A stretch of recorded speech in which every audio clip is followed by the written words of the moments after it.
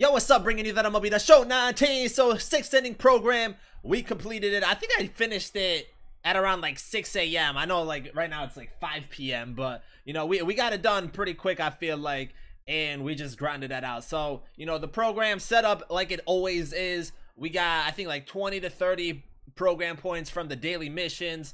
30 from the 10 online games. I would recommend doing this in Battle Royale unless there is an event, but there's no event currently. And then 6 inning conquest challenge. We got that done. And I'll actually show you guys the map and like where some of the special packs are also. And then the 6 inning voucher, that plus 75 is always big.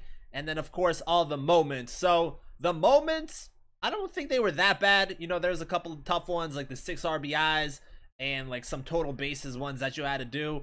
And even like the last one where I think you needed to get two home runs and a stolen base and all that stuff. I mean, I did that my first try, but I, have heard some people had trouble with that one. But, you know, the program just grinding it out. And I think overall, you know, it, it was pretty simple. Now, the rewards, we got a few packs. I will show you guys, like, when we open up the 100 program pack. And, like, when I opened those up, I talked about those cards. Same with the 200 programs. So for the 100 program points in the six inning program, we're going to make that choice right now. We have Lefty Grove has 73 hit per nine, 77 K per nine, 78 walk per nine, the 91 home run per nine, 70 clutch, 95 fastball, 82 curve, 87 forkball, and an 85 changeup. It's a decent looking card, you know, nothing crazy, but 87 overall. Then we have Mark Melancon, a closing pitcher, 88 hit per nine, 80 K per nine, 96 walk per nine, 94 home run per nine with a 90 clutch, 93 cutter, 82 knuckle curve, 94 four seam, and an 87 splitter. And then the last choice we have is Eric Davis, another impact veteran card, 85 overall, has 106 contact versus righties, 82 versus lefties, 80 power versus righties, and 80 versus lefties, 61 vision, and then bronze tier defense 61 speed. So most of these cards is good if you're trying to get Honus Wagner and do those impact veteran collections or the all-star collection. I'm gonna end up taking mark Melancon just because i feel like he's he's the only one that might be usable if i actually want to keep him on my team. So that's the player we're gonna go with. So at 200 program points we have another signature series pack and these cards look pretty good. I think all of them are solid. We have Dante Bichette has the 107 contact versus righties, 109 versus lefties, 86 power versus righties, and 91 versus lefties, 100 vision, and then silver tier defense, which, you know, is kind of low, 66 speed. But I definitely think it's a solid hitting card. Great contact numbers, power numbers are good, good vision. So that's one of the choices. Then we have Matt Carpenter. And is this going to pull up for us so we can see? He has he has 104 contact versus righties, 91 versus lefties, 89 power versus righties, and 84 versus lefties, 94 vision, has gold tier defense, 78 fielding, 53 speed, can play first, second, and third. I actually like his swing. I think he has a good swing in the game, and his hitting attributes are pretty nice. So I think this could also be a solid card. Then we have Catfish Hunter, has the 96 hit per 9, 82 K per 9, 91 walk per 9, 91 walk per 9, 81 home run per 9, has a 93 fastball, 86 slider, 78 changeup, 76 curveball, and a 91 two-seam fastball. So his pitch repertoire, it looks pretty good. Pitch speed differential is alright. I don't think 93 fastballs high end or anything, so I don't know if he's going to be that effective because of that fastball being so slow, but the pitch speed differential, I think it's 17 from the fastball to the curveball. That is not bad at all, but that's not bad at all, and uh, I think he could be a solid card. You know, nothing crazy, but I think he definitely could be a solid starting pitcher, maybe a fifth option, even though, you know, that's randomized. I think we're going to go with Matt Carpenter right here. You know, he's definitely the best looking card, and I also think he's the most expensive to start things off, so we're going to pick him up, probably sell him, and then see if we can pick him up again another time and you know, add him to the Honus Wagner collection. So we're going to go with Carpenter right here, and that's going to be our pick. But the 300, the actual bosses, I didn't really talk about it when I did it because I wasn't I wasn't actually recording that. So we got Ken Griffey Jr., probably my favorite player of all time, has the 110 contact versus righties, 100 versus lefties, 114 power versus righties, and 109 versus lefties, 105 vision, has diamond tier defense, 84 speed. Really good card. You know, I'm not going to have him right now, but once I do pick him up, you know, once his price is at you know, a good time to buy. We're definitely going to get him, and he, he's going to be in our lineup the rest of the year. But really good five tool player. I think his power numbers are, you know, they're, they're good. don't get me wrong, they're good, but I feel like they could have been better also. His vision's definitely nice up there at 105. Then we got Mike Piazza. And he actually has better hitting attributes than Ken Griffey. So I was kind of surprised about this, but this is also a really good hitting card. 116 contact versus righties, 125 versus lefties, 109 power versus righties, and 115 versus lefties. 111 vision, has silver tier defense, so that's not that great, I guess, for a catcher. But I don't really rate defense that high for catchers either. You know, arm strength is definitely a big thing, and his his is only 74. So like that's the only thing I would care about for a catcher, and his is kind of low. But you know, it's still a really good hitting card. As far as like catcher goes, he might be the best hitting catcher. I have to, you know, check everyone again. But his contact numbers are really good. His power numbers are really good. Same with his vision. 45 speed kind of low, but then again, he is a catcher. He also can play first base, but you know, there's a lot of options at first, so I probably don't recommend him there. Catcher, you know, he's obviously good. Then we got Jackie Robinson. So um, I think this is a low key, really good card. I, I, think people are sleeping on this card. Has 119 contact versus righties, 122 versus lefties, 80 power versus righties, and 79 versus lefties, 125 vision, and then 86 fielding, diamond tier defense, and 95 speed.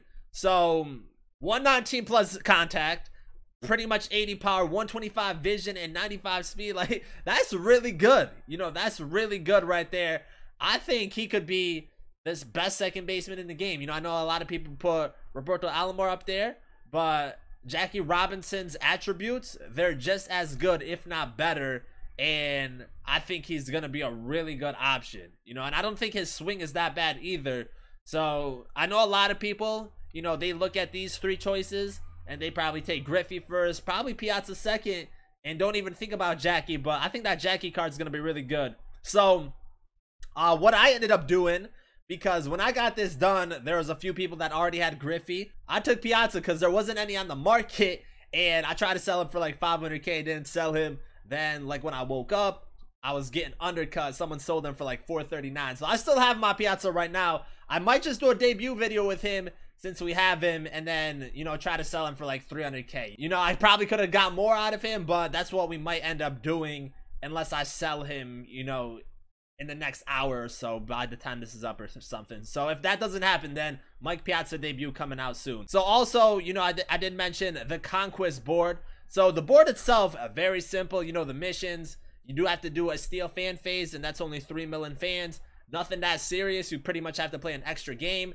And you have one, two, three, four, five, six games in total that you have to play. So the way that I did this is I went straight down the middle and then pick a side. You know, either go right or left, do all the right hand side first, and then come down to Seattle and then do the left hand. That's the way I did it. But, you know, it's a very simple to do. So here is the board, you know, empty, but the locations show where some of the hidden packs are. So we have a few standard packs, a show pack, and then the Cincinnati Reds Stronghold, you get a gold player pack. So that's pretty much just a guaranteed gold live series. But there is a chance, I think, that you can get a diamond out of that. And then the Dodger Stronghold, there's a July Player of the Month pack, so that's pretty nice right there. The Mariners, you have a Ballin' is a Habit pack. And then a little bit under the Mets, there's a five pack bundle that you can also get. So those are pretty much the hidden packs in this Conquest board. And like I said, the Conquest board in itself is pretty easy to do. So that's pretty much it with like the program itself. Now the packs, I'm not going to open up, I think, a majority of these just because the standard and the show packs, I'm going to save those for pack out. I'm going to save, I'll open up a couple ballin as a habit. I guess we can open up this gold player one. There's a 1 in 28 for a diamond. So that would be pretty nice if we can get a diamond. You know, of course, uh, we get Lugo, which is actually not bad. I think he just got upgraded recently. We'll open up the Twitch drop packs. You don't get these from anything here, but... Yo, Twitch drop coming in clutch. Let's go, baby. Man, too bad this, was, this wasn't for pack out. But wow, Twitch drop packs, dropping the diamonds. That's actually pretty nice. This is the second time I have gotten a diamond from a Twitch drop pack also. So I'll take that. Now, who could this be? We have, is this, oh, Red Sox. Who's on the Red Sox? Oh, bro, who? JD or Mookie? I don't think Mookie has that many home runs, does he? I don't know who this is. This is JD. Okay. You know, it's still it's still some extra stubs. I'll definitely take that right there. You know, but a diamond from the Twitch packs, I'll take that all day. You know, I will take that all day. Damn, he's only 7k right now, but you know, that that still helps. That definitely still helps. Let's see if we can get something from this. So these are 1 in 50 odds. Actually, they changed those because they used to be 1 in 100 odds. So interesting right there. We got Alonso. Not bad. Now, the All-Star, I think I'll say for pack out the July monthly awards and the Topps Now. I still haven't done the moments for those. So I'll do those all together. And then set 18, I'll do when I open up the set 19 also. And then we have the gear up. They should actually make this a diamond or a prestige gear up choice pack. I don't know why they're still giving out golds, but you know, whatever. We'll just take this because I don't have it. We'll quick sell it anyways. Now we'll open up, I think like two or three of the Ballin' is a Habit. I think you get three altogether from like all the grinding from the moments and stuff like that. So we'll open up some of these and we get David Price right there. I want to save at least two of them for a pack out when we get around to that. But we get another goal, Tommy Pham. And then the last one will open up right here.